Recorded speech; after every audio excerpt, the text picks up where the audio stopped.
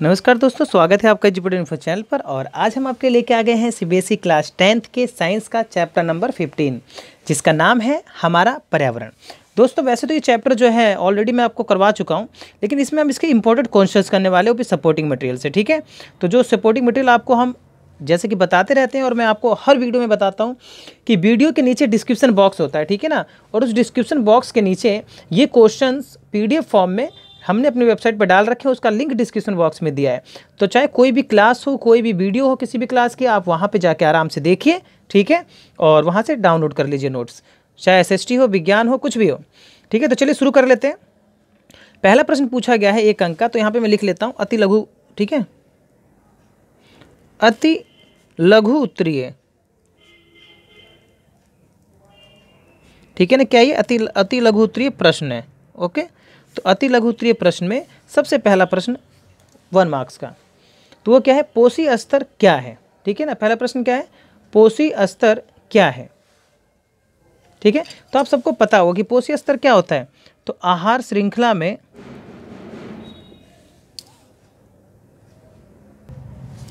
तो पोषी स्तर की हम बात करते हैं तो पोषी स्तर क्या होता है? देखिए, आहार श्रृंखला में, ठीक है ना?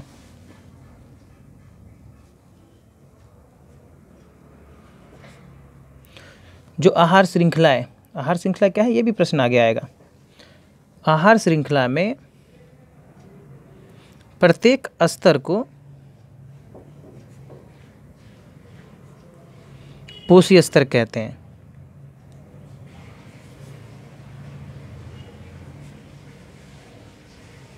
ठीक है? आहार श्रृंखला में प्रत्येक स्तर को पोषी स्तर कहा जाता है, पोषी स्तर कहते हैं। ओके?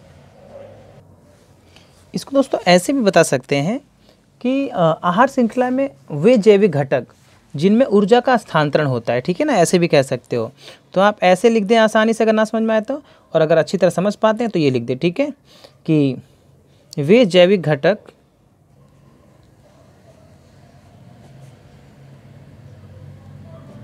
ठीक है?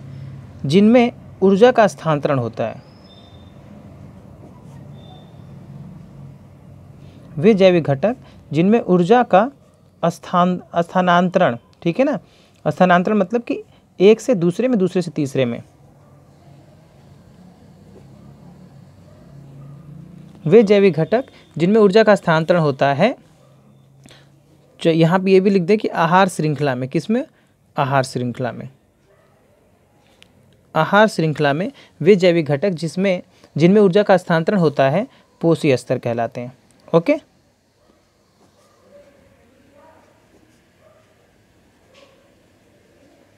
पोषी स्तर कहलाता है। ठीक है? आइए सेकंड क्वेश्चन लेते हैं और देखते हैं सेकंड क्वेश्चन में क्या पूछा गया। ठीक है ना? आइए। तो जो क्वेश्चन नंबर सेकंड है, इधर इधर इधर। इधर उधर कहाँ? नीचे नीचे। तो यहाँ पर देखिए फुल फॉर्म पूछा गया तो बहुत ही आसान है, कि सी एफ़ सी और यू एन ई पी का पूरा नाम लिखिए। क्या करना है हमें? सी एफ़ सी और यू एन ई पी का पूरा नाम लिखना है। तो चलिए यहाँ पे लिख देते हैं, इसमें कौन सी बड़ी बात है? ये मेरे ख्याल से आप भी जानते होंगे सी एफ़ सी की फुल फॉर्म और U N E P U N E P ठीक है? तो सी एफ़ सी का फुल सी एफ़ सी की फुल फॉर्म क्या है? आपको पता ही होगा क्लोरो क्लोरोफ्लोरोकार्बन क्या कहते हैं इसे? क्लोरो फ्लोरो कार्बन ठीक है? हिंदी में भी लिखना चाहे तो लिख सकते हैं। क्लोरो आधा फ और लोरो।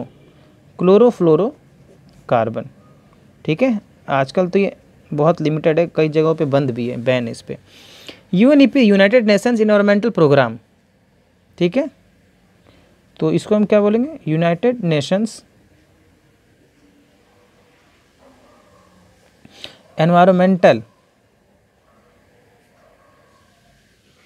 United Nations environmental programme ठीक है ना इंग्लिश में। और हिंदी में भी इसे लिख दें, हिंदी में भी लिख देते हैं। तो संयुक्त राष्ट्र संघ, है ना यही तो होगा इसका। संयुक्त राष्ट्र संघ नहीं लिखना है। संयुक्त राष्ट्र पर्यावरण कार्यक्रम। पर्यावरण हो गया। पर्यावरण कार्यक्रम। ओके? तो ये आपके हो गए इसके परिभाषा। अब आगे बात करते हैं क्वेश्चन नंबर थ्री को लेते हैं, चलिए। तो क्वेश्चन नंबर थ्री में क्या पूछा गया है? देखिए। क्वेश्चन थ्री में पूछे, उन विकरणों का नाम लिखिए जो ओजोन परत द्वारा अवशोषित होते हैं। यानी कि हमें उन विकरण का नाम लिखना है जो ओजोन परत द्वारा अवशोषित होते हैं। तो लिख दीजिए यहाँ पे क्या प्रॉब्लम है? ओजोन परत द्वारा विकरण पूछ रहे हैं कि ओजोन परत क्या करता है? ओजोन परत द्वारा पैराबैगनी या परा भी बोलते हैं कहीं कहीं तो पैराबैगनी इंग्लिश में से बोलते हैं अल्ट्रा वायलेट। क्या बोलेंगे? Ultra violet. पैराबैगनी अल्ट्रा वायलेट किरणों का, ठीक है ना? यानी ओजोन परत के द्वारा पैराबैगनी अल्ट्रा, ओजोन परत द्वारा पैराबैगनी अल्ट्रावायलेट किरणों का अवशोषण होता है। पता है ना? यही तो बहुत इंपॉर्टेंट चीज़ है। अवशोषण होता है।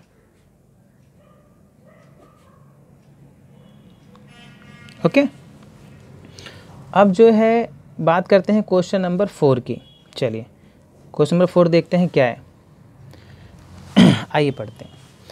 क्वेश्चन फोर में पूछा गया है कि द्वितीय उपभोक्ता और तृतीय उपभोक्ता में से ज़्यादा ऊर्जा किसे प्राप्त होती है? अच्छा अच्छा। तो ये तो मेरे ख्याल से आपको ही पता होगा कि जब ऊर्जा नीचे से ऊपर की तरफ़ यात्रा करती है ना तो किसे ज़्यादा ऊर्जा। तो भाई नीचे वालों को ज़्यादा ऊर्जा प्राप्त होती है, ठीक है? तो अधिक ऊर्जा। अच्छा एक बात और है। यहाँ पे मैं आपको जो ये बात है, वहाँ पे मैं ये बता दूँ कि ऊर्जा ना हमेशा ऊपर की तरफ़ फ्लो करती है, ऊपर की तरफ़, ठीक है? और घटते जाती है। नीचे ज़्यादा ऊपर कम और फिर और कम फिर और कम फिर और कम। ठीक है? ऐसे ऊर्जा जो है कि प्रवाह होती है। ऊर्जा का प्रवाह ऐसे ही होता है। ठीक है ना? तो अब देखिए कौन से लेवल पर ज़्यादा ऊर्जा प्राप्त होगी? तो अधिक ऊर्जा हमें आ, हमें चाहिए पूछा द्वितीय उपभोक्ता को प्राप्त होगी। अधिक ऊर्जा? द्वितीय उपभोक्ता को प्राप्त होगी।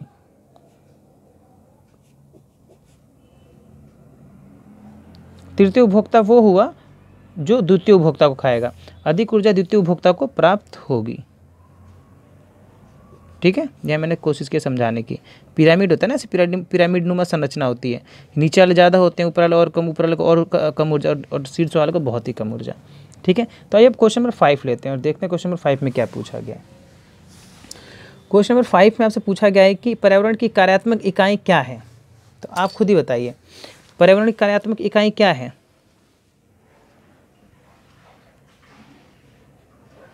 पर्यावरण की सबसे छोटी इकाई जो काम करती है वो क्या है? पर्यावरण की कार्यात्मक इकाई आहार श्रृंखला है। आहार श्रृंखला। अगर ये श्रृंखला टूट जाती है डिस्टर्बेंस होता है तो काफ़ी चीज़ें प्रभावित हो जाएँगी। काफ़ी क्या पर्यावरण नष्ट हो जाएगा? पर्यावरण क्या पर्यावरण की कार्यात्मक इकाई। अरे यार, ये छूट गया? सॉरी कार्यात्मक इकाई आहार श्रृंखला है। ओके पर्यावरण की कार्यात्मक इकाई आहार श्रृंखला है। क्लियर है ना? बस लिख दीजिए और क्या चाहिए? जो पूछा है उतना बताइए। सिक्स क्वेश्चन देखते हैं। सिक्स में क्या पूछा गया कि निम्न में से कौन कौन जैव निम्नीकरणीय नहीं है?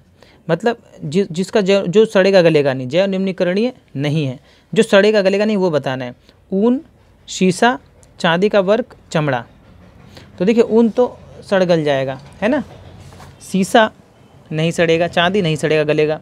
तो यहाँ पर आप लिखोगे शीशा।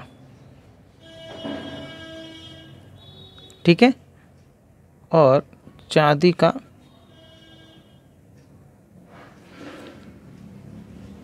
वर्क ठीक है? चांदी का वर्क क्योंकि ये दोनों ना सड़ेंगे, गलेंगे नहीं. ये निम्नीकरण नहीं होंगे, नहीं, यानी कि बैक्टीरिया के द्वारा ख़त्म नहीं किया जा सकता इसको. ओके अगला क्वेश्चन लेते हैं. दो परजीवी के, का नाम लिखो. अच्छा. सेवन्थ क्वेश्चन है. तो दो परजीवी के नाम बताने परजीवी बता सकते हो आप? जो दूसरों की बॉडी पर रहते हैं हुँ? हम्म? तो परजीवी। बताइए बताइए। तो एक तो जोंक हो गया लीच। जोंक। Leech L double E C H ठीक है ना? और दूसरा हम बता देते हैं जू को तो जानते हो ना आप जू जो हमारी बॉडी पर रहता है। जू को क्या बोलते हैं? लीक लाई हाँ, और जू। हाँ जो हमारी बॉडी पर रहते हैं बस वही तो बताना परजीवी जू। ये परजीवी है। जू को लाइस बोलते हैं, जहाँ तक मुझे याद आ रहे हैं, ठीक है? अब गलती होगी तो सॉरी उसके लिए। और तीसरा, फीता क्रीमी। आप सभी लोग जानते होंगे, फीता क्रीमी जो है, एक ऐसा परजीवी जो हमारे शरीर के अंदर चला जाता है तो बहुत बड़ा हो जाता है, फीता बढ़ जा, फीता की तरफ़ बड़ा हो जाता है, फीता क्रीमी, ठीक है ना? इसे लीवर फ्लुक कहते हैं। क्या कहते हैं? Liver fluke. लीवर में जाके सेट हो जाता है, ठीक है? तो ये आपके परजीवी ने बता दिए। और भी हैं, बहुत सारे। वुचेरिया हो गया, है ना? तो लेकिन मैंने आपको बिल्कुल सिंपल, साधारण जो आपके जीवन में आते जाते रहते हैं, उनके बारे में बताया, ठीक है? जिसको आप जानते हैं अच्छी तरह से। तो अब आठवां क्वेश्चन लेते हैं। आठवें क्वेश्चन में क्या है, देखते हैं। क्योटो प्रोटोकॉल क्या है? क्योटो प्रोटोकॉल तो दोस्तों, आपको बता दूँ कि क्योटो प्रोटोकॉल जापान पहले तो क्योटो एक नाम है जापान के शहर का। और प्रोटोकॉल नियम होता है। ठीक है ना? प्रोटोकॉल क्या होता है? विशेष नियम होते हैं। तो क्योटो प्रोटोकॉल क्या हो गया? जापान में जो है कि नियम हो गया ठीक है ना? जापान वो पर्यावरण पर नियम बनाए गए थे कुछ। तो इसमें ये बताएँ, क्योटो प्रोटोकॉल क्या होता है? तो उन्नीस सतासी में, छियासी तो खैर उसी के हाँ उन्नीस सौ सतासी में जापान के क्योटो नगर में जापान के क्योटो शहर में। ठीक है? उन्नीस सौ सतासी में जापान के क्योटो शहर में सीएफसी जो अभी आपने ऊपर पढ़ा ना, क्लोरोफ्लोरोकार्बन सीएफसी की मात्रा, यानी इमिशन की मात्रा से की विकिरण या फिर उसके निष्कासन की मात्रा। चाहे बैठ नहीं रहा है सॉरी इसके लिए मात्रा ही लिखिए सिंपल उन्नीस सौ सतासी में जापान के क्योटो शहर में सीएफसी की मात्रा को 1900 मैंने यहाँ 1800 लिख दिया यार क्या हो रहा है? हम्म, गड़बड़ गड़. 1800 नहीं उन्नीस छियासी के स्तर पर डिस्टर्बेंस होता है ना मज़ा नहीं आता पीछे कोई काम वाम कर रहा है गुर्र पुर्र कर रहा है अच्छा नहीं लग रहा है. उन्नीस सौ सतासी में जापान के क्योटो क्योटो शहर में सीएफसी की मात्रा को अठारह उन्नीस के स्तर पर सीमित रखने के लिए समझौता हुआ था, ठीक है ना? सीमित रखने के लिए जो नियम बनाए गए, ठीक है? सिंपल है, बिल्कुल। कि उन्नीस सौ सतासी में जापान के क्योटो शहर में सीएफसी की मात्रा को उन्नीस सौ छियासी के स्तर पर सीमित रखने के लिए जो नियम बनाए गए, उसे हम कहते हैं क्योटो प्रोटोकॉल। उसे क्योटो प्रोटोकॉल कहा जाता है।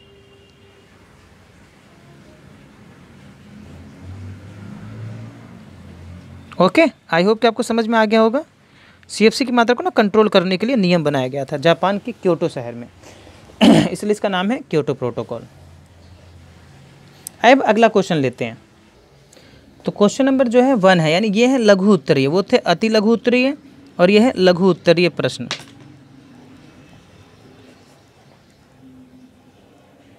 ओके वो लघु उत्तरीय था और ये, वो अति लघु उत्तरीय था और यह लघु उत्तरीय प्रश्न. ठीक है ना? अब इसमें जो प्रश्न है, क्या पूछा गया? देख लेते हैं, आइए. तो इसमें पूछा गया कि हरे पौधों को उत्पादक क्यों कहा जाता है? ठीक है? तो आपको मेरे ख्याल से पता भी होगा कि हरे पौधों को उत्पादक क्यों कहते हैं? हरे पेड़ पौधे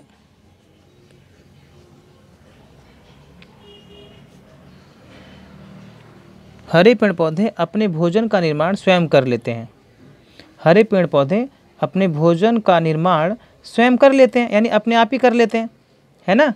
जैविक घटकों के द्वारा और अजैविक घटकों को मिलाकर। तो हरे पेड़ पौधे अपने भोजन का निर्माण स्वयं करते हैं।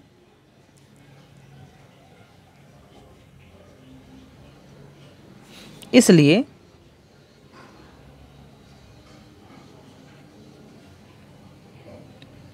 उन्हें उत्पादक कहा जाता है। क्या कहा जाता है?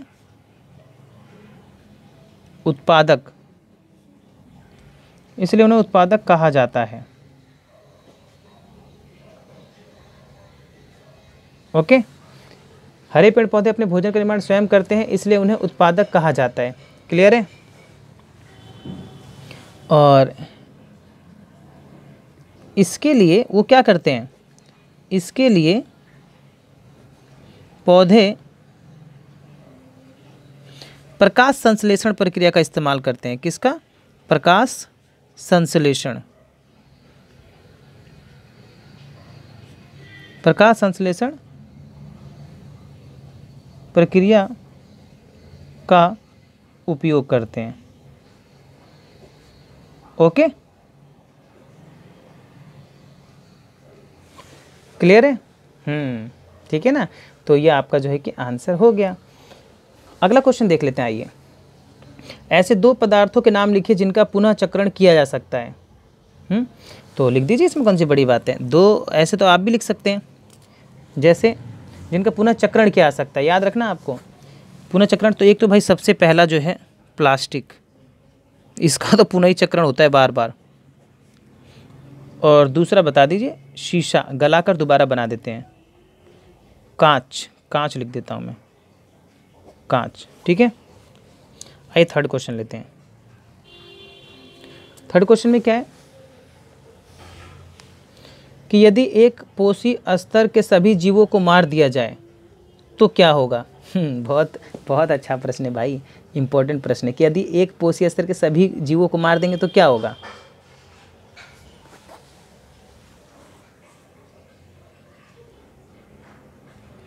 यदि एक पोषी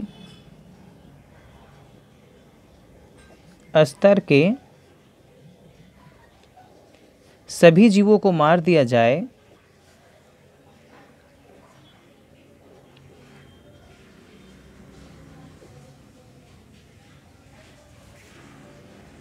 तो ऊर्जा का प्रवाह बंद हो जाएगा। क्या हो जाएगा? ऊर्जा का प्रवाह बंद हो जाएगा। यानी जो ऊपर ऊर्जा पहुँचती है ना दूसरे जीवों तक ठीक है, ऊर्जा का प्रवाह बंद हो जाएगी, लिख दिया मैंने चलिए, कोई नहीं, लिख दिया लिख दिया, आप सही कर लीजिएगा। तो यदि एक पोषी स्तर के सभी जीवों को मार दिया जाए तो ऊर्जा का प्रवाह बंद हो जाएगा। ठीक है? क्योंकि ऊपरी पोषी स्तर में ऊर्जा नहीं पहुंचेगी।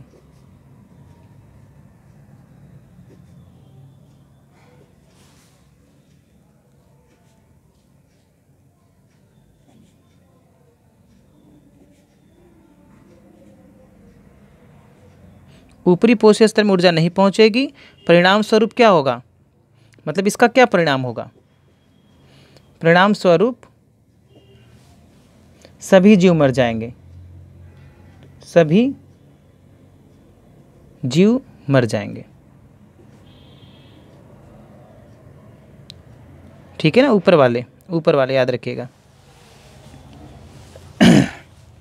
बस तो देखा एक पोषी स्तर को ख़त्म किया तो सब खत्म। तो ध्यान रखिएगा इस बात का। आइए क्वेश्चन नंबर फोर लेते हैं। क्वेश्चन नंबर फोर में क्या पूछा गया है कि केवल दस प्रतिशत ऊर्जा ही अगले पोषी स्तर तक स्थानांतरित होती है क्यों? हाँ भाई, ये तो सही सवाल पूछ दिया। केवल ये आता है एग्ज़ाम में, पहले ही बता रहा हूँ टेन परसेंट लॉ क्या है? दस प्रतिशत ऊर्जा का नियम क्या है? तो इसको आप अच्छी तरीके से घोट के ना मतलब घोटा बना के पी लीजिएगा। ओके वेरी इंपॉर्टेंट क्वेश्चंस तो केवल दस प्रतिशत ऊर्जा ही अगले पोषी स्तर तक स्थानांतरित होती है। क्यों? यही बताना ज़रूरी है भाई। तो इसको कुछ ऐसे लिखेंगे कि क्या होता है?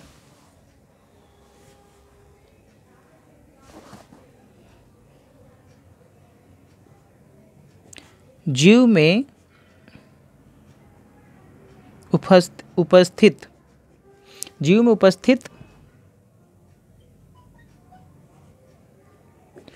कुल ऊर्जा जीव में उपस्थित, कुल ऊर्जा का नब्बे प्रतिशत भाग प्राणी या जीव। प्राणी अपने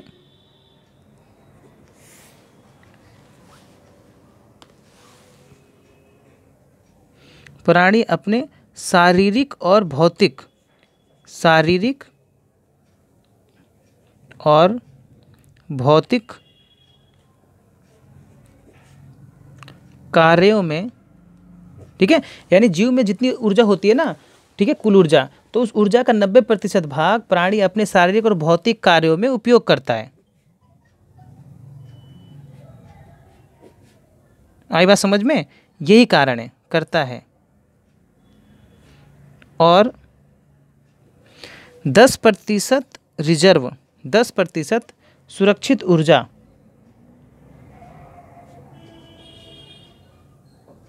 ऊर्जा शरीर में बनी रहती है।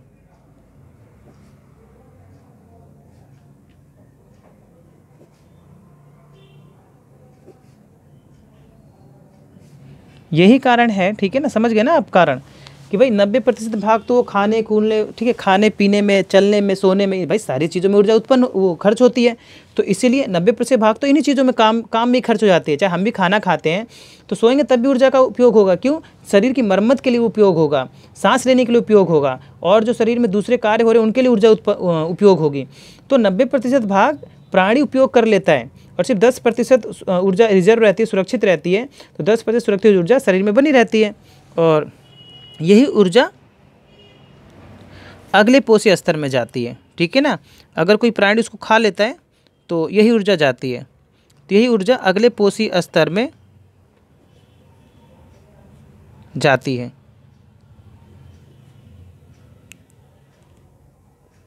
ओके?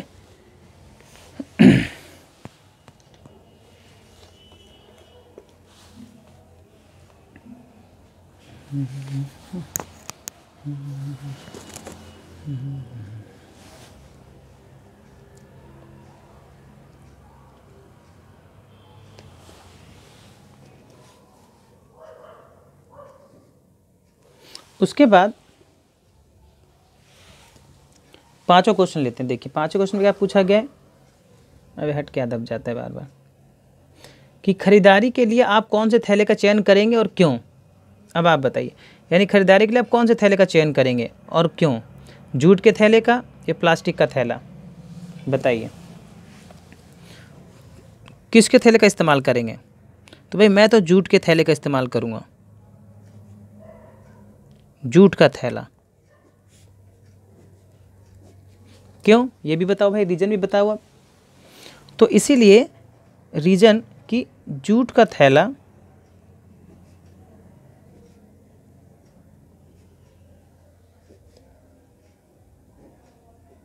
जैव निम्नकरणीय है।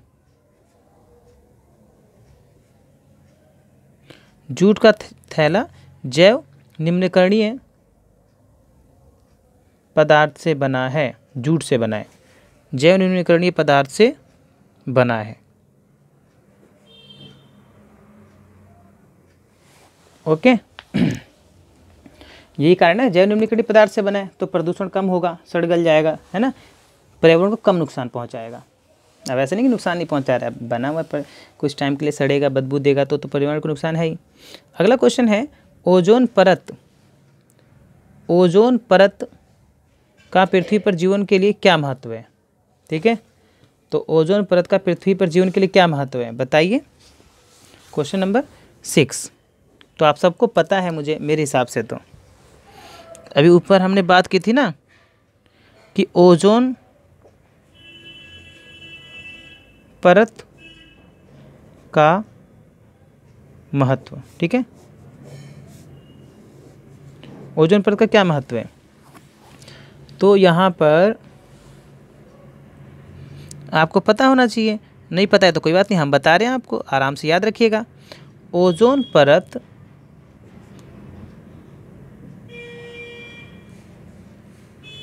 अंतरिक्ष से आने वाली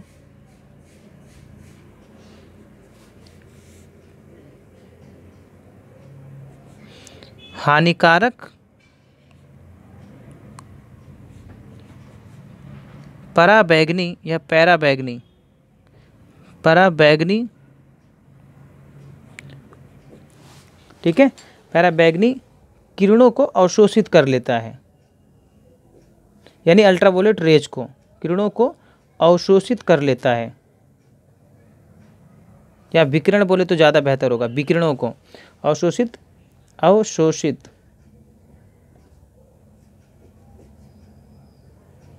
कर लेता है।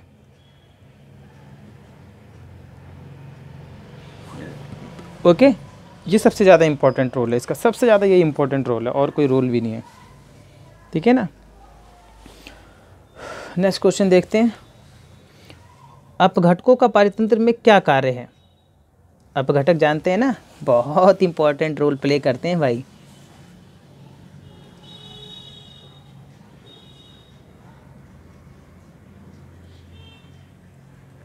अपघटकों का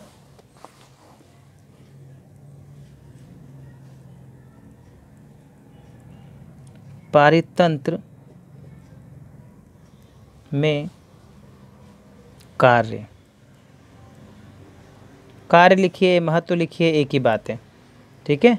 अब घटकों का पारितंत्र में कार्य या महत्व, बहुत इम्पोर्टेंट है। तो भाई कौन सा कार्य करते हैं ये? तो आप सबको पता है नहीं पता है तो भाई हम तो बता ही रहे हैं, याद रखिएगा। अपघटक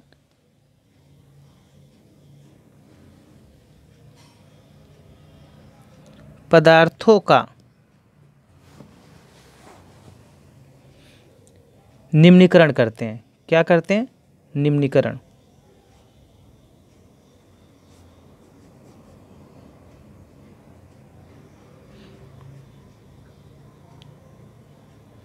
अपघटक पदार्थों का निम्नीकरण करते हैं। आई बात समझ में?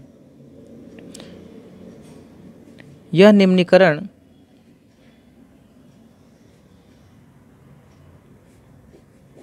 यह निम्नीकरण किसके द्वारा होता है भाई? एंजाइम के द्वारा किया जाता है। किसके द्वारा?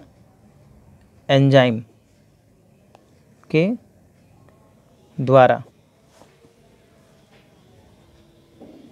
किया जाता है। जो कि जीवाणु स्रावित करते हैं, जो कि जीवाणु स्रावित यानी निकालते हैं, ठीक है ना? स्रावित करते हैं। ओके? यानी जो बैक्टीरिया होते हैं, वो एंजाइम सेक्रेट करते हैं और उस एंजाइम से वो जो पदार्थ होता है ना, उसको डिकम्पोज कर देते हैं छोटे छोटे कणों में और फिर वो मिट्टी में मिल जाता है। तो इसलिए अब घटकों का कार्य बहुत इंपॉर्टेंट है, याद रखिएगा। अगर ये हट जाए हमारे संसार से तो फिर ये समझिए कि प्रदूषण के मारे हम मर जाएँगे और पदार्थ बढ़ता ही जाएगा पूरे संसार में, पूरे हमारा जितना भी विश्व है पूरे में, ठीक है? तो इसलिए ये समस्या है, ओके? तो इनका होना बहुत इंपॉर्टेंट है। अब अगला क्वेश्चन लेते हैं कि ऊर्जा पिरामिड का चित्र बनाइए और जिसमें विभिन्न पोषी स्तर दर्शाइए, ठीक है? तो ऊर्जा पिरामिड का चित्र बना देते हैं। इसी पे बनाए, अगले वाले पे बनाए। अगला ले लेते हैं। क्यों? छोटी सी जगह में कंजक्शन ठीक है ना? जब है भाई पूरा स्पेस है तो पूरा स्पेस का यूज़ करेंगे। थोड़ा बहुत क्यों? अब ऊर्जा का ऊर्जा का पोषी स्तर बनाना है हमें, ऊर्जा पिरामिड का चित्र बनाना है। तो बना देते हैं क्या प्रॉब्लम है? पिरामिड तो आप जानते ही हैं। सबने देखा है दुनिया का पिरामिड थोड़ा बड़ा बनाएँगे, बढ़िया से।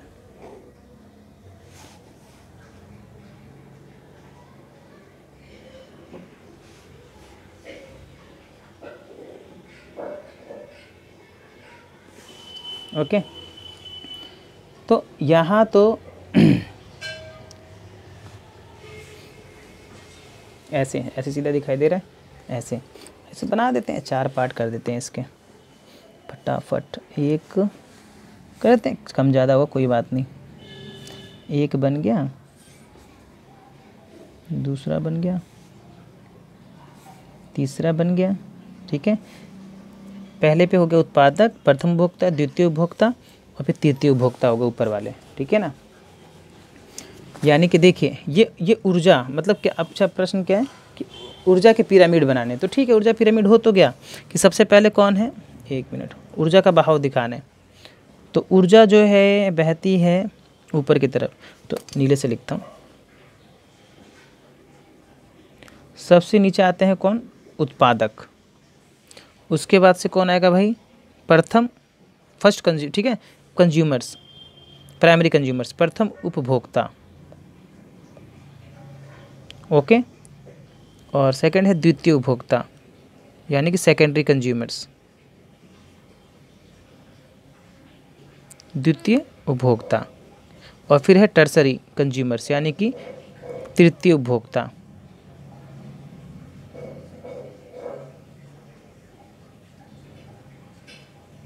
ओके? तो ये जो है कि ऊर्जा का डायग्राम है। समझ में आ गई बात? यानी ऊर्जा जो है, नीचे से ऊपर की तरफ़ बहती है। और किस किस नियम से? दस प्रतिशत नियम से। एक और यहाँ भी बना के समझा देता हूँ, ताकि जो है कन्फ्यूज़न नहीं रहेगी ना।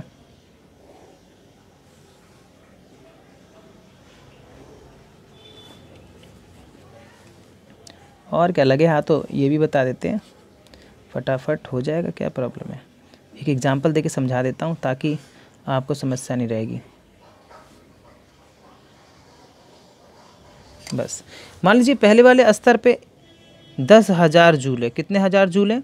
दस हज़ार जूल। ठीक है? तो दूसरे पे कितने? दस परसेंट नियम लगता है यहाँ पे। टेन परसेंट नियम। ऊर्जा का दस प्रतिशत नियम। कौन सा नियम यहाँ पे लागू होता है? ऊर्जा का दस प्रतिशत। यानी यहाँ पे अगर दस हज़ार जूल है तो ऊपर जाएगी दस परसेंट। इसका दस परसेंट निकालिए। यानी कि हज़ार जूल। अगले सिरे, अगले पे क्या जाएगी? अगले पे कितनी जाएगी? अगले पे जाएगी सौ जूल। फिर इसका दस परसेंट, टेन जूल।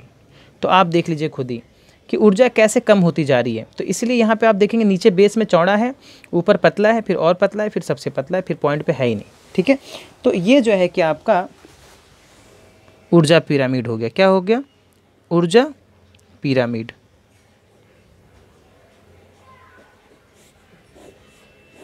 ठीक है?